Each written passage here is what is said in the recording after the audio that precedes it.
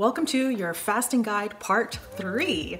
In this video, you're going to learn how to successfully get through your DIY fasting mimicking diet and more importantly, come out of it successfully, safely, and optimally, i.e. the refeeding portion. Now Longo recommends that you absolutely, on day six, do not have any meat and especially dairy. He stresses no dairy. If you absolutely must eat meat, please choose seafood. He's all about the Mediterranean diet and there's a lot of good reason for that.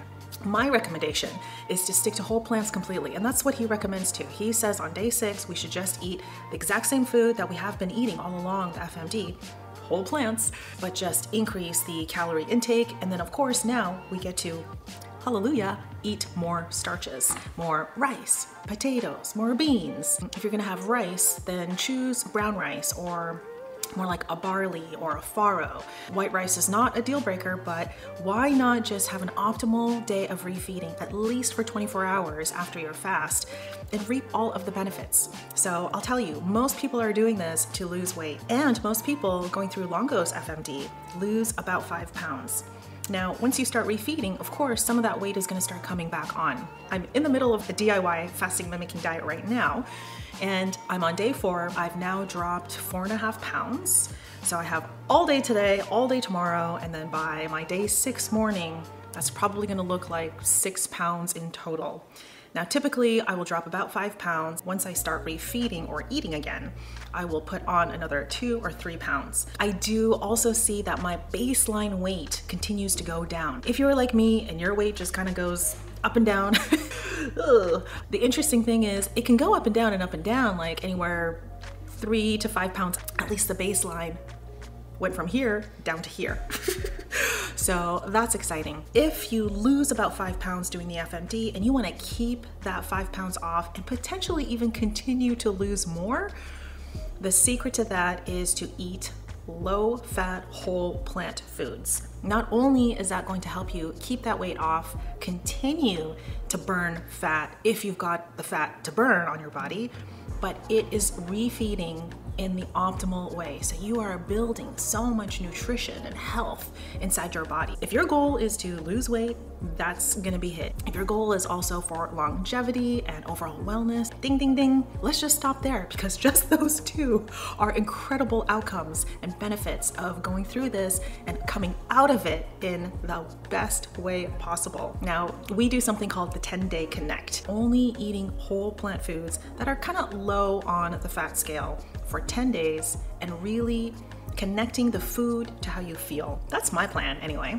There are a bunch of foods that are plants that happen to be very high in fat. Just avoid those if you are on a weight loss journey.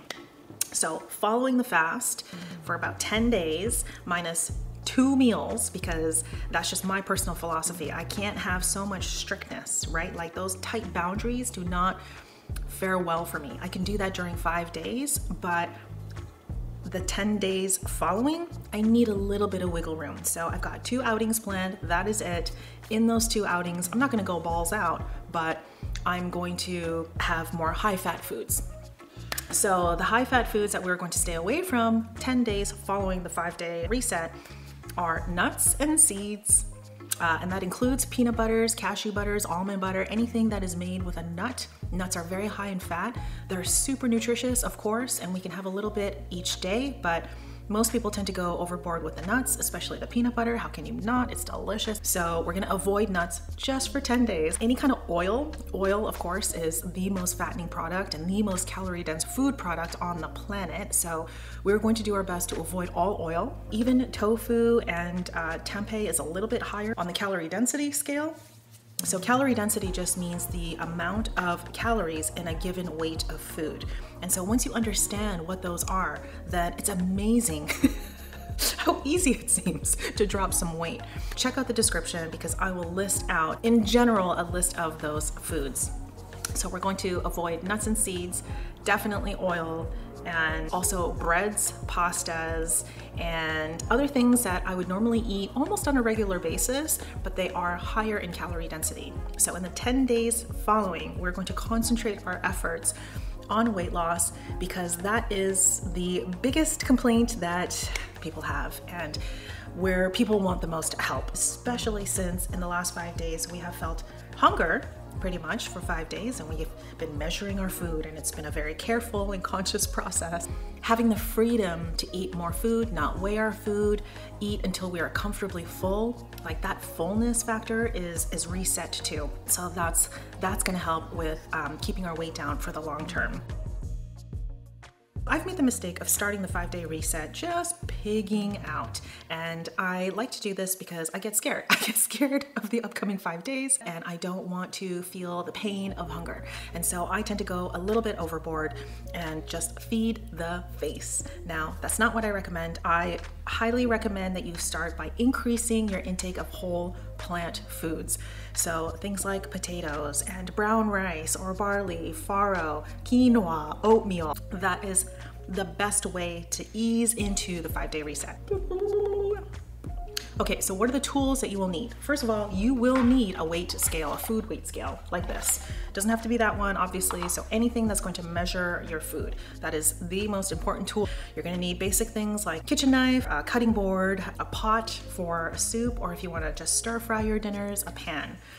And then that's about it because there's no cooking for breakfast or lunch, so that's nice. And then, of course, you're gonna need your ingredients that you're going to eat, all of your food. I would also recommend weighing yourself, especially if you're on a weight loss journey. It's really fun to just see how your weight drops day by day. And so, so far, I'm on day four. My visceral fat has gone down a point, which is very exciting, and my metabolic age has gone down two years. Ugh, that's my most exciting measurement. Can you drink coffee? Well, yes, you can. Hallelujah, right? We can drink up to eight fluid ounces of black coffee every single day. And that means no cream, no milk, no sugar. Or you can have two cups of black tea or green tea, but no matcha green tea. You can have unlimited herbal teas. I still have my teas from Prolon. I've got so many. They packing so many into their kits. So I've still got some of these, but no herbal teas with either ginger or turmeric because those are really powerful roots and they may take us out of the fasting state. What if you get really desperate and you're really, really hungry and you really want to have something to eat? You can have one stalk of celery, or one Persian cucumber.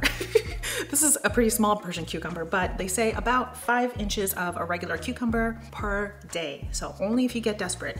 Try not to do that, but at least you have that as something. My recommendation is carbonated waters. So we're allowed to have sparkling water as long as there's no added sugar in it.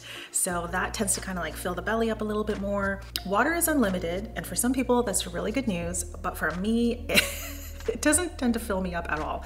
So I need either like a hot tea. So I'll have either just hot water or I'll do a hot herbal tea, or I will have a sparkling water. Those tend to help me a lot more than just basic water, but experiment and do what works best for you. Can you work out? I would recommend not doing that. You can absolutely move your body, go for a walk, go out in nature, smell that fresh air, go for a very leisurely bike ride, but do not work out, do not play 18 whole rounds of golf do not do any like heavy lifting or hit like a hot yoga studio. We want to not only conserve our energy and our limited calories, I've also heard that if we work out too intensely, it may take us out of the fasting state. So take this week to just go easy on yourself. In the past, I've done very light yoga, and it's really interesting because typically when I start working up a sweat, I start heating up in very specific areas in my body. And when I'm in a fasting state, it's very interesting because my entire body lights up. So my whole body heats up all at once. It's not concentrated to those normal areas where I get really hot, like typically my back and my head. Those are the first places that start sweating. And during a fasting state, it's just like, whoosh, everything is just like warm. Yeah, every single time. I will caution you, even sitting outside in heat. So when you look at Prolon's uh, materials, they will say like even driving long distances in very hot weather, they do not recommend. I have to agree with that because uh, during one fast, I sat on a beach for a few hours. I was in the shade, had a hat on, did not move around a lot, and I had my cold drinks and I was exhausted. I don't think I had ever been so exhausted in my life. I came home, passed out, and I think I had more energy after giving birth to our daughter than after that day on the beach. So even lounging around in any hot weather is not recommended. So just stay in cool and comfortable environments. Can you work? Yes, you can absolutely work, especially if you have a desk job, but feel free to work. A lot of people do it. You're just gonna have to like pack your lunches if you go into the office or going into the workplace. You can still hold meetings or do whatever it is you do as long as it's not something physically taxing. What if you can't stand one of the ingredients on the five day reset menu? You can always go into Cronometer and punch in all of the food and make sure that all of the macros macros kick out as close as possible to Longo's numbers, or you can just simply replace it grams for grams. So if you, let's say, can't stand red bell peppers or mushrooms, then replace like, let's say the 10 grams of mushrooms for 10 grams of carrots or for broccoli whatever you can stand. Nuts, cashews, especially since they're so delicious. Cashews can be a huge problem for a lot of people because they're not able to just have one, right? You have one and all of a sudden, oops, the entire bag is gone. So if you can't trust yourself with nuts, because cashews are a high fat item, we want to replace it with another high fat item. The only other item that will be applicable on our reset menu are avocados. So for example, for our snack, 18 grams of cashews can be replaced with 18 grams of avocado instead. So you can just do that. So you're a six foot man and you weigh over 200 pounds and I am like 5'4". Should you be consuming more calories during the FMD DIY style? When you look at the FMD kit, the official one from Prolon, there are no other options, whether you are that six foot tall man or a five four woman. So my answer to that is no, just stick to the program, and that's it. If you would like to eat less calories than what's described in the five day menu, then that is of course up to you. You don't have to eat up to 1090 calories on day one or 725 calories on days two to five. On average, you know, we need about 500 calories a day to stay alive. so please just make sure that you are eating at least that. And if you're okay, then do your thing. What if you go a tiny bit over? It's probably gonna be fine. I think that it will still work with that little bit of leniency. But overall, stick to the program. Can you prolong this after day five? No, don't do that. I've heard Longo say not to prolong it, that we should not be in ketosis or the fasting state for too long, that there are some challenges and problems that can come out of that. So let's just stay safe and do this in uh, with good intentions and just not push it. You can always do the reset again in the future and reap all these benefits. But I hear what you are saying. You probably are feeling amazing. Your energetic levels are different in a very good way. You want to stay feeling this good. I will tell you how to stay this way. The key is to refeed well. So everything that I talked about in the beginning of this video, go rewind it, go watch that, and just keep to eating whole plant foods that um, if you don't have a weight problem and you don't have a weight loss goal, then just eat anything that is a whole plant. That includes the nuts and seeds or dried fruit like dates. In order to have a great five day reset, especially as I am in one right now, the highest recommendation I can make is to give yourself space, be gentle with yourself, and pace out your meals pretty well. Some people say, well, I typically don't eat breakfast, so can I just pack my breakfast into my lunch and just have like one big meal midday, have my snack, and then have my dinner. You can do that.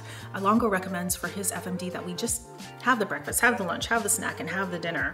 Within a span of 12 hours, you are kind of eating all of your food and you're pacing it out. Every few hours, you're getting some calories in, getting some energy in. The whole week becomes much more enjoyable. Drink plenty of water, get lots of rest. Make sure, if you absolutely can, to do this with a friend or with friends, plural. right now, I'm doing this with two people who are 2,000 miles away, and it's just way more fun to do this together. Power in numbers. In preparing to go into a DIY fasting mimicking diet, make sure that you're also thinking about the refeeding part. I cannot stress enough how important it is to refeed properly. This is going to optimize your fast and make sure that all of that work that you've just done doesn't just get thrown out the window. Get some sprouts. Yeah, sprouts are one of the most nutritionally dense food products available to us, and we love to grow our own sprouts at home. And so if you've not tried it, I highly recommend it. It's super easy and you can check that out. Good luck. You are going to do awesome.